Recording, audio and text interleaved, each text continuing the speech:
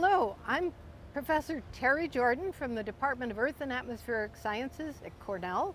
I'm really excited that we have reached this stage in the Cornell University Borehole Observatory project. This week has been really big. They've assembled the drill rig so that we can begin to explore underground and find out whether geothermal energy is a possibility for Cornell. I'm really looking forward to finding out using the CUBO drilling project what rocks there are and what their potential is for geothermal energy. The first 110 feet we've already drilled. We know that that has gone through unconsolidated sediments created by the glaciers and by melting of the glaciers.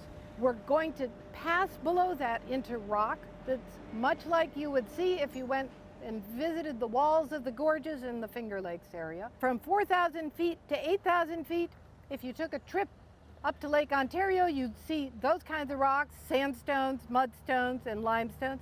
And finally, at about 8,000 feet deep, we get to the rocks of interest for geothermal reservoirs. If you want to follow along, check our website regularly. My colleagues and I look forward to keeping you up to date as the drill goes downward.